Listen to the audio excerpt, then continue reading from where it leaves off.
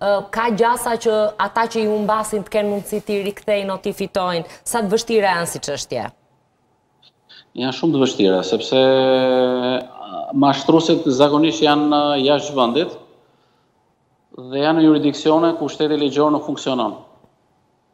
Më të njohurit janë përgjithësisht mashtrusit që ndodhen në Afrikë, Dhe atje është shumë e vështirë për të për të ndjekur paratë dhe për t'i kthyer mbrapsht. Dhe për të identifikuar.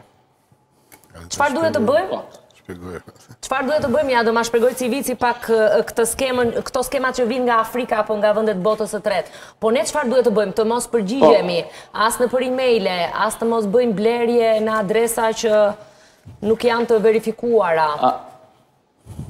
Atëherë nuk duhet të përgjigjemi emaileve, nuk duhet të aplikojmë në loto të çuditshme dhe duhet njoftuar patjetër shërbimi i policisë sepse mund të jenë edhe hackers shqiptarë të cilët fshihen pas këtyre identiteteve.